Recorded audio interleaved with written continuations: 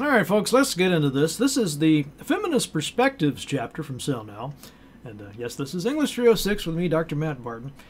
And this is one of the probably the most, uh, one of the most, maybe the mo- I might go so far as to say the most popular perspective. You know, a lot of students really uh, enjoy working with this, and it's uh, not so much as it's not necessarily the easiest one. There's there's quite a bit of terminology here, uh, but I think what makes it appealing is that it's you know just just the real world uh, implications of this are so easy to see, and it uh, you know people feel like it applies to them in ways that some of those other perspectives are a little bit more abstract, I suppose, and more uh, you know ivory tower type stuff. Uh, with the neo-Marxism in, in, this chapter in particular, I think really hit home to a lot of people. Uh, but anyway, let's let's dive into it. Uh, so we'll be discussing. Get my pointer here. Uh, the terminology, of course, uh, words like hegemony, patriarchy, masculine hegemony, and uh, heteronormativity. quite a few syllables there.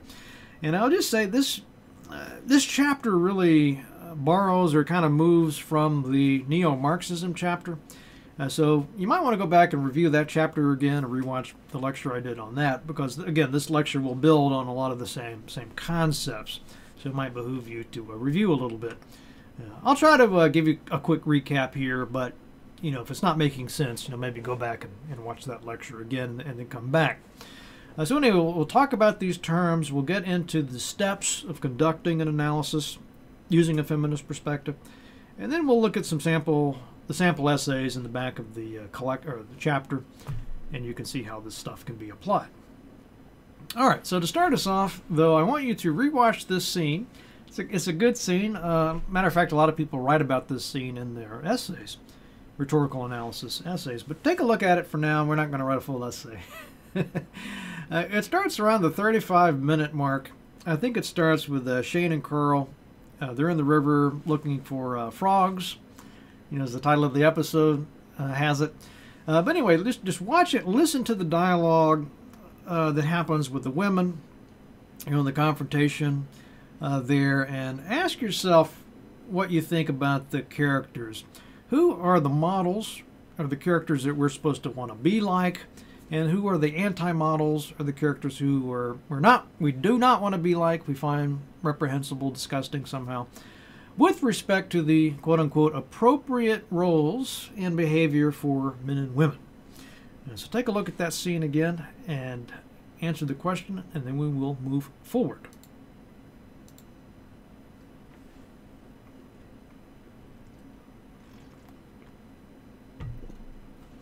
All right, uh, so what is a feminist perspective?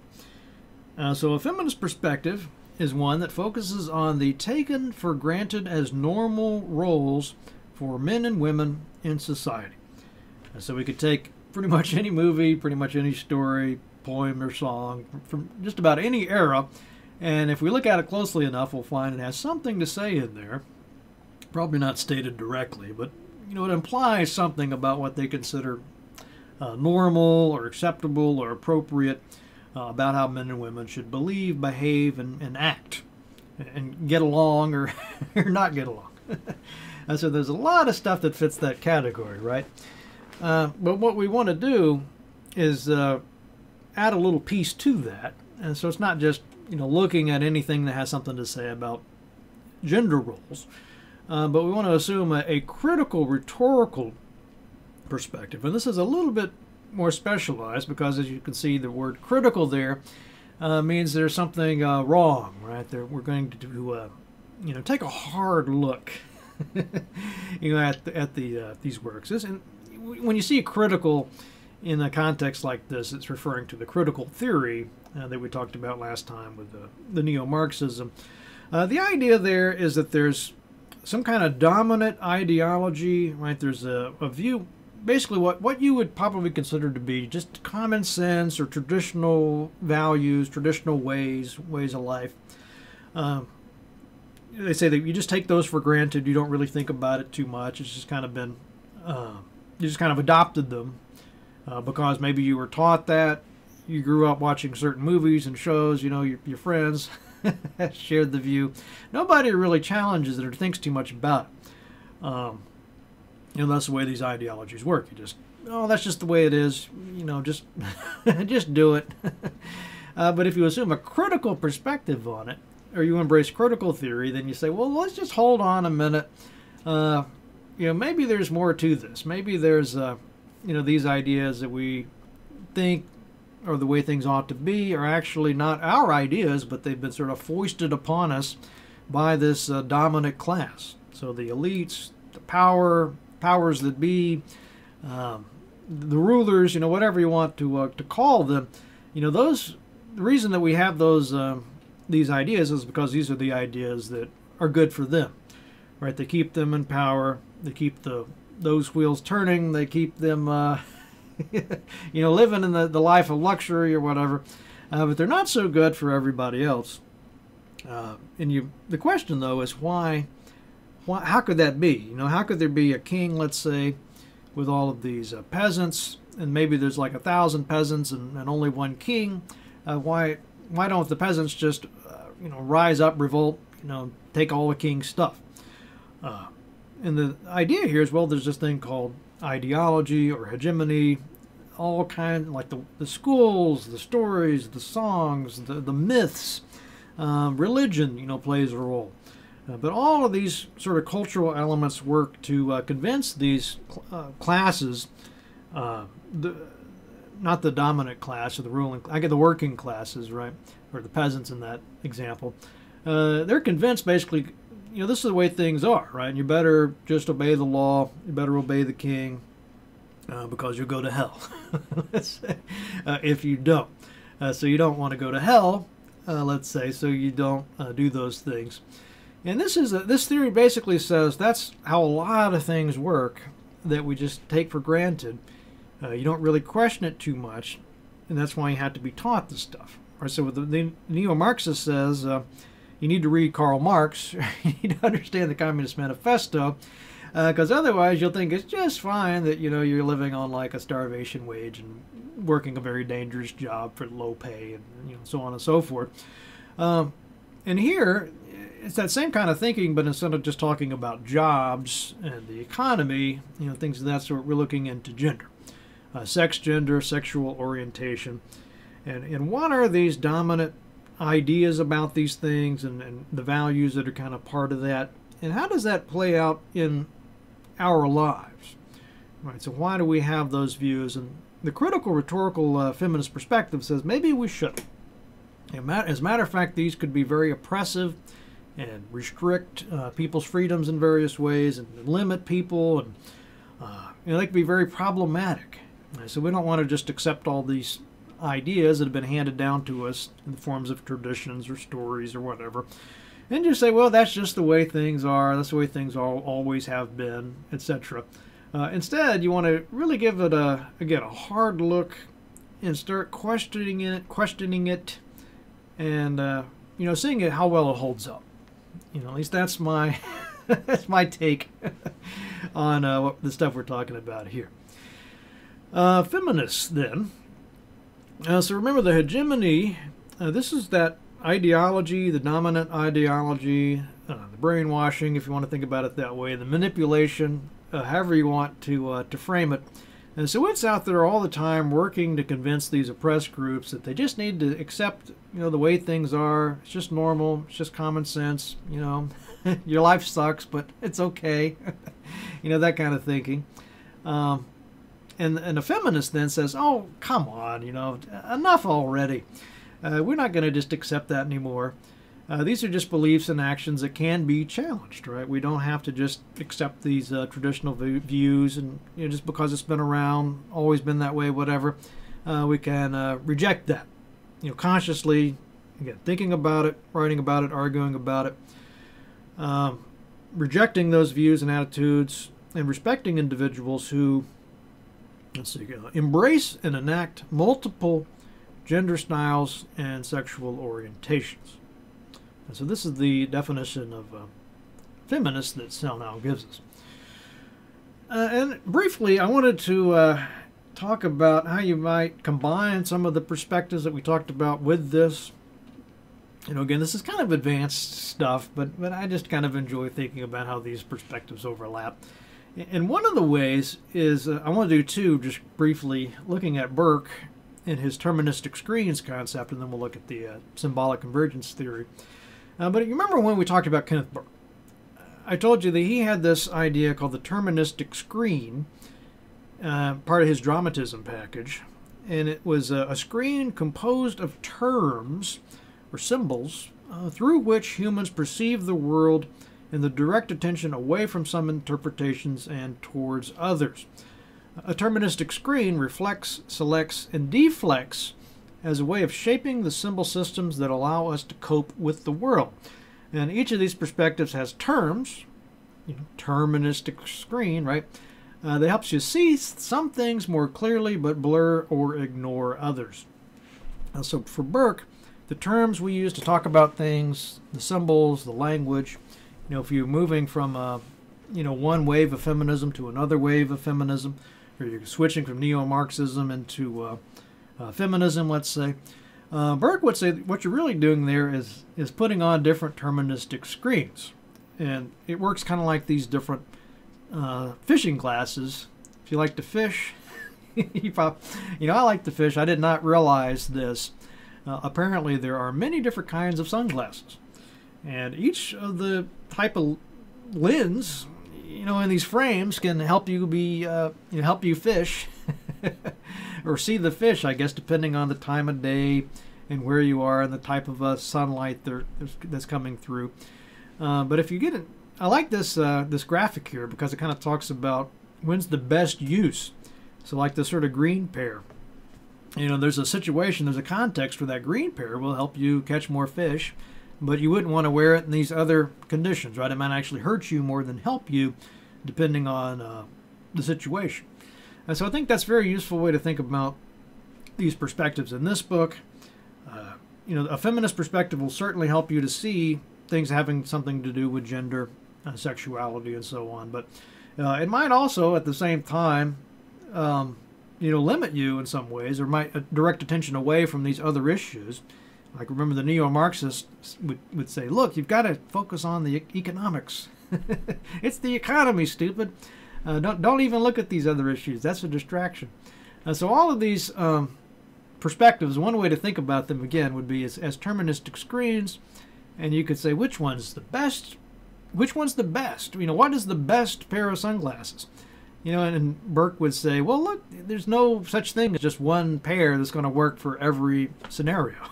so, kind of the whole point, right? You pick the one uh, that's going to be the most useful one uh, for whatever your you know particular goal is. You know, I think that's a pretty good way to look at that. Uh, and then the symbolic convergence theory and fantasy theme analysis one. You know, I see a lot of uh, overlap with that as well.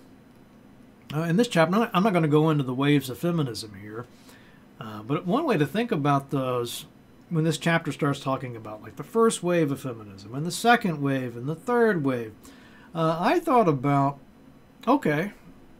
That's rhetorical vision. That's rhetorical visions. And they have these life cycles, right? You have the whatever the creates the vision. There's some kind of reason like the need for vote, voting rights. Uh, they attract newcomers.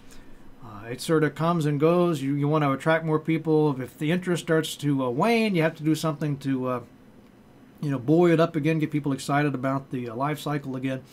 Uh, but eventually, the wave kind of you know, like any wave, kind of uh, you know goes away. In this case, if you uh, when you have the right to vote, you know, it doesn't it doesn't make a whole lot of sense to keep on um, you know staying part of that organization, right? Uh, so I thought you could you could talk about these ways of feminism in terms of these different rhetorical visions, the consciousness creating, the raising, sustaining, uh, also the symbolic cues. Uh, you think about uh, like the the hats. I want to say the word, you know, but there's certain uh, uh, hats uh, that people wear, and you could say that's a symbolic cue, right? You see those hats, and you know uh, what that's all about, and it kind of lets you know right away if somebody is in on that movement or knows what it's about, or somebody might look at the hat and say, "What in the world? I don't get it." Uh, so that's a symbolic cue, meaning it lets you know basically whether or not the person uh, is familiar with the group or an insider. You know, and the same for all these other uh, elements here. Remember, the founding fantasy was like the story of how did we get here? How did this group come together? And I think you even see that in this chapter if you look closely and think about it. Really, this chapter kind of tells you about like how feminism came to be. It kind of gives you this. I know it's, fantasy is a weird word there, but it's basically just the history of the movement. All right, so enough of that. Let's uh, talk about the feminist terminology in this chapter. Uh, one of the big ones is patriarchy. And the patriarchy is the structuring of society around family units where a male is the authority figure and is responsible for the welfare of his family members and community. Uh, so think patriarchy, the opposite of this. Uh, you can think about the opposite of what, what would a opposite of a patriarchy look like. Uh, might be a society where the family units, where there's a female, might be an authority figure and responsible. Uh, if you watch Wonder Woman, uh, you can get, see an example of that uh, kind of society. Um, but again, this is one of those ideas that you know for many many years, you know, this is just kind of oh well, what's what's wrong with that? And that's just the way things are. The patriarchy, the you know, father knows best, was literally the name of, of a sitcom. I think from the 50s it was uh, referenced in this chapter. Uh, so that's just what they mean there is you know the patriarchy father knows best right the father uh, he's in charge you go to him he's the one that's got all the knowledge he's he's out making the money he's got the big job and you know tells the kids what to do um, that's the patriarchy uh, masculine hegemony describes gender and power inequities in ways that account for multiple masculinities and how hegemonic structures oppress all forms other than heterosexual masculinity. Uh, so, what this one is about is kind of like coming back to that idea of what's appropriate roles or what's appropriate behavior. You know, there's certain ways that, uh, for lack of a better word, uh, someone who might say, well, that's very manly. You know, this uh, such and such a person is very manly, but this this other person is, you know, I think I don't want to get into the stereotypes, even in an example, but you know, let's just say you said that that other person doesn't really strike me as very being very manly. Um, that's the sort of ideas there, right? There's well, who gets to say that? You know, where does this where is this coming from? And again, according to this theory, it's coming from the hegemony. It's just sort of top down and sort of foisted upon people, and people just uh, adopt it without really being even conscious of it, much less being critical of it. Uh, so part of this job, I guess, if you want to analyze masculine hegemony, is get in there and start breaking it down and saying, you know, it doesn't have to be this way. You know, there's plenty of other forms of masculinity than just this little narrow macho sort of thing. Uh, heteronormativity. Uh, this is the privileging of heterosexuality and an alignment among biological sex, sexuality, gender identity, and gender roles. And if you look at this word normativity, you kind of see the word norm, normal, kind of buried in that word somewhere.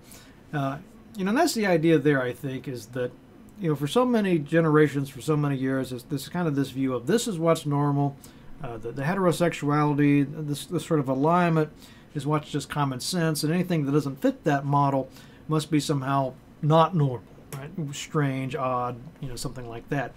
Uh, so this is where, uh, you know, a critic comes in again and says this is actually not just common sense or the way things have to be.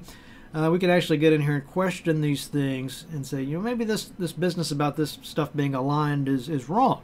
It's just we've been sort of normalized or sort of conditioned, I guess, uh, into seeing things a certain way, uh, when really it doesn't have to be that way.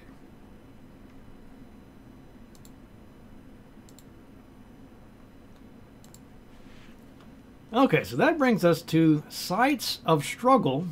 And again, I don't want to keep repeating this, but you know, we talked about this in the neo-Marxism, neo-Marxist chapter as well. Uh, but remember when we said the uh, we talked about neo-Marxist and I said that the neo meant like a new Marxism, like the updated updated version. Uh, the old version of that of Marxism just said ideology is just the brain. Everybody that's not a Marxist basically is, is suffering from ideology or false consciousness, right? They've been sort of brainwashed, and if we could just sort of wake them up, they would become a, a Marxist. Uh, the neo Marxist, though, said that's a little bit simplistic, uh, that view. Uh, you know, there, there's you can't, there's no, uh, there's nobody out there that's not, that has no ideology you know, just like Burke would say, nobody doesn't have a deterministic screen and just seeing things as they are. Uh, it's just a matter of which deterministic screen are you using in any particular situation.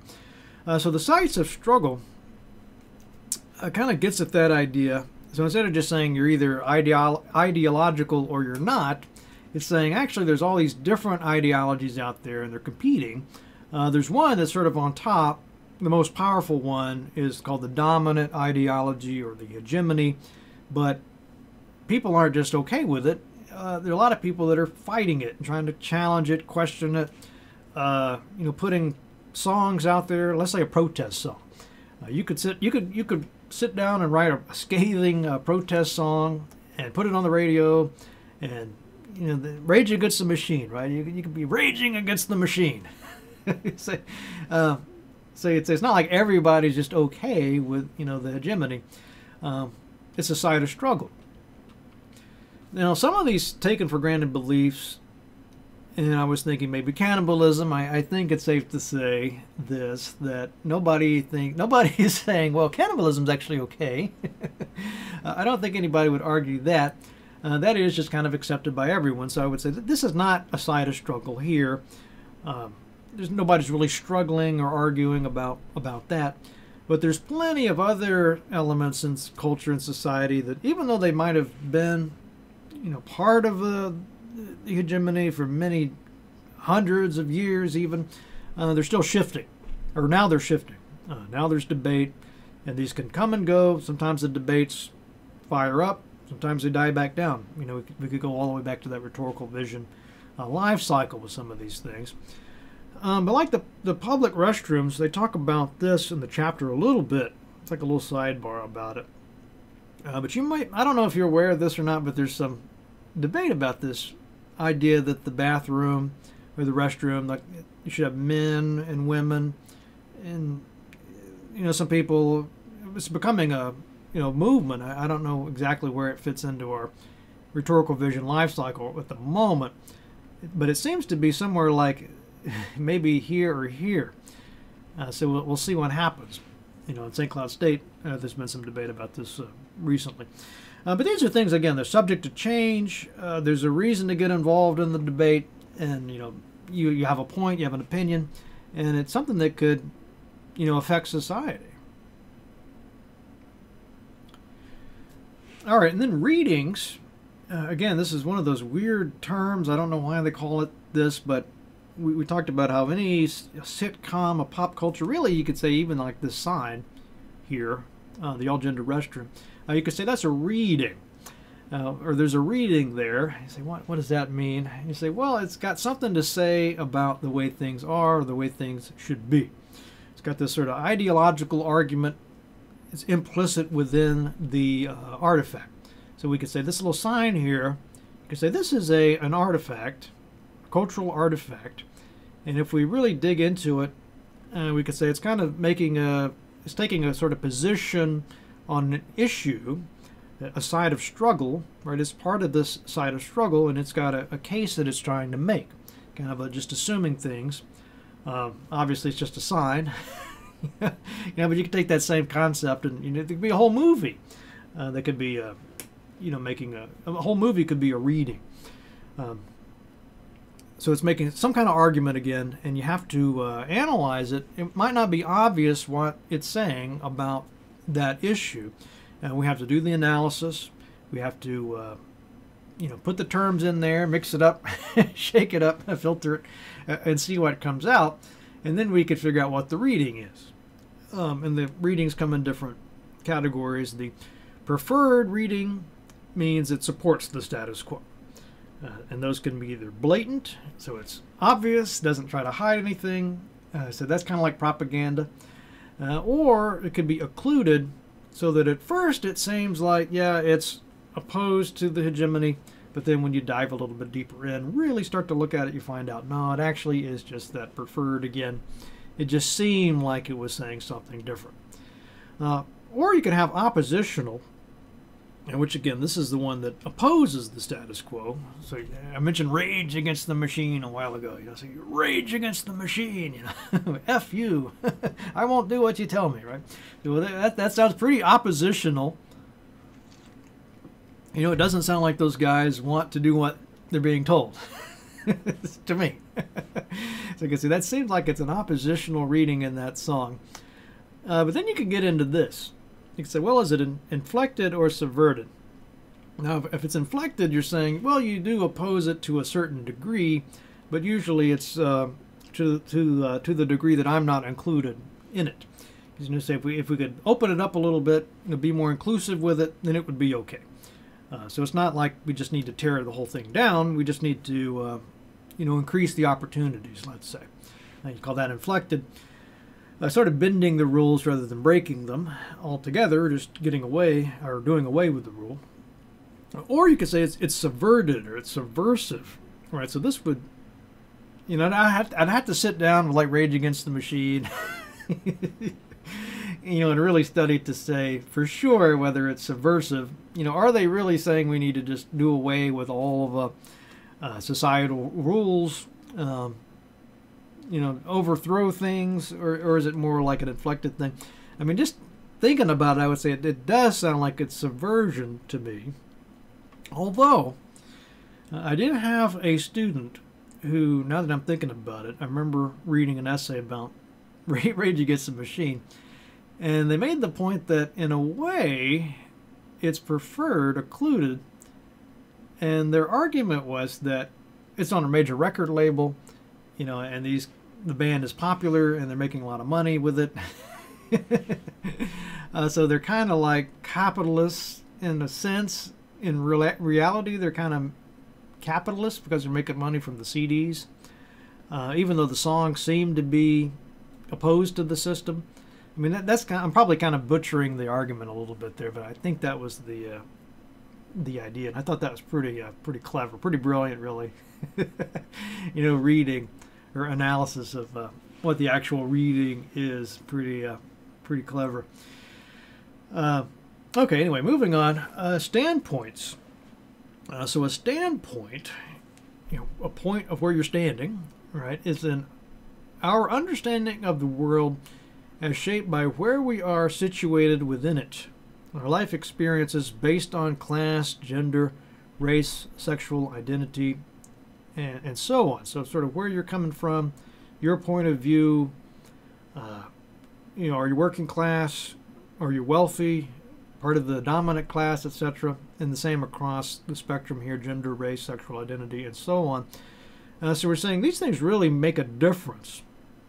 Right, your the way you look at the world. I mean, the way you understand things, not just a, song or you know a work of pop culture, but like everything to some extent is affected not just by one of these, but you got to think about the whole package, right? And these will be a standpoint, so you can imagine how many different standpoints there are. I guess as many standpoints as there are uh, people, basically. Uh, however, the argument here is if your standpoint is within the dominant groups, you know, whichever one of these you want to talk about, uh, it could be a problem for you because uh, you might fail to see inequality and thus continue to perpetuate it. So you might be somebody who says, "Oh, I would never do that. You know, I'm I'm totally committed to, you know, social justice and so on." But since you don't have the right, your standpoint is within the dominant group. Uh, you might see a facade. So this is what's called a Potemkin uh, village here. So the story here is, I think it was uh, uh Catherine II, maybe, of Tsarist uh, Russia uh, so I guess they had her in a, in a wagon, you know, going or coach carriage, making these tours, and you know, she'd look out her window there and see like facades. Oh, look, everybody's doing great. it's a prosperous village here. Uh, when this was just kind of a, a, facade, really what was going on was, you know, pretty horrific conditions uh, for the people. Uh, so this kind of metaphor, this is this kind of a metaphor for what we're talking about here. Right? If you're in the carriage, you know, looking out the window, you might look out and say, "Oh, everything's fine." I don't know what you're talking about. What are you talking about? Inequality, right? I don't see any inequality. well, that's because you're part. You know, you're in the carriage, right? You, are not really seeing things. You, maybe you can't really see it um, because you don't have a. You know, your standpoint again is within the the dominant uh, class. Okay, a lot of material here. Uh, okay, uh, there's four basic categories of feminist perspective uh, that Sellnow identifies, and you know, I'm sure we could probably add on like at least four, you know, 14, 40 more. uh, it just seems to go on forever. Um, but I think these four categories make a lot of sense, and it's, it's useful, I think, to divide, uh, or at least be thinking about sort of perspectives within a perspective. Uh, so, just briefly, uh, a liberal feminist perspective uh, focuses on the inclusion of women in traditionally should be male dominated areas.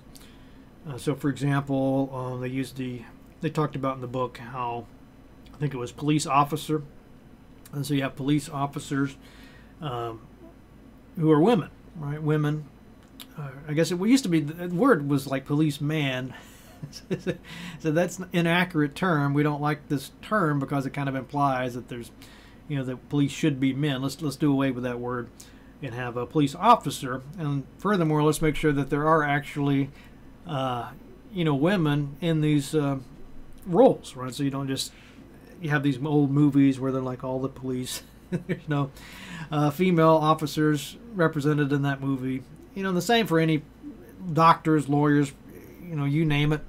Um, if you're a liberal feminist perspective, uh, then you want to make sure that there's uh, not just all of one anything, right? You want to have a uh, diversity in those roles. You want it to be inclusive and that's what you're focused on. Uh, the radical, uh, radical uh, feminist assumes that inequities and oppression stem from how the system creates men and women differently, uh, subject and object, gender identities, and the values or lack of values associated with them. So you hear a lot these days about systemic issues, right? And saying it's not just a, a small group of people doing it it's not like there's just a few uh, bad apples or something like this. Uh, the whole system is, is, the problem. Right? There's the way that um, uh, you know, people are taught or uh, conditioned to accept certain views, I suppose, on uh, gender identities, for example. Um, and so it's, it's kind of like, you know, it's got a lot in common, I suppose, with the, the liberal perspective, but this is kind of saying that the problem is bigger uh, than just a lack of representation in certain areas. Uh, you know, the problem is across the whole board, and we really need to uh, be radical. Radical change. I guess that's the key. Why it's called radical, right? We need radical change. Uh, and then the Marxist perspective. Again, this one's kind of like a blend of the uh, neo-Marxist and the feminist perspective. I think I even mentioned um, we were talking about that how you you talk about like a pay gap wage, uh, was it the gender pay gap, uh, things of that sort, or just uh, you know if people aren't making the same amount of money or there's not enough uh, CEOs. Um, I guess it's kind of like the liberal perspective in, in that regard. Uh, but basically, you're just saying if the if the you know if the money's not equal, you know if the economics don't work out equal, then how are you going to have any of these other kinds of uh, equality? Right? You got to solve that problem first. Uh, and then the cultural uh, feminist perspective. This one's kind of interesting. Uh, so here we're talking about well, what about those traditional feminine skills? You know, you got all these movies about uh, oh, what was it? The uh, kindergarten cop, I think, was mentioned for some reason, or the daddy daycare. I think that's Eddie Murphy in that. Uh, but you know, they're saying I mean, you got all these skills that are kind of a, traditionally associated with uh, women's work, quote unquote. Uh, maybe instead of just saying, well, those you don't want to agree with the, uh, uh, the, the sort of sexist views. That says, well, those are just meaningless skills, or those aren't important skills, or something like that. Uh, a cultural feminist would say, you know, quite the opposite. You know, the problem is that they're just not not valued enough. Uh, so you might hear, for example, uh, that um, homemaker for example, should be a paid position. Right? This is a you know, very important thing. Uh, it's not like it's uh, somehow worthless or less useful than being a lawyer, you know, whatever other professions uh, there are. We just don't value them as much as we should. That's at least that is my quick and dirty uh, description of these. You can certainly read the chapter if you want to dig in a little deeper. Okay, so how do you actually conduct a uh, feminist analysis? Well, obviously, you'd start by selecting an appropriate text. And, you know, at the start of this lecture, we looked at a particular scene from The Walking Dead where they're, you know, basically talking about gender roles. Uh, you know, so if you got a movie that's about, you know, something to do with the sexuality or, gender uh, relations between uh, genders and economics, or you know, whatever the case may be, if there's something there, um, if that's kind of the focus of that scene or that song or that uh, movie, and that'd be pretty good material for you to analyze. Uh, so then you get into the examination part of it. So who are the characters in the scene or the show, whatever, and what are their subject positions?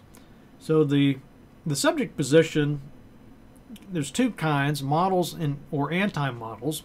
Remember the model is the character that you want to be like. The anti-models are the ones depicted as being undesirable for some reason.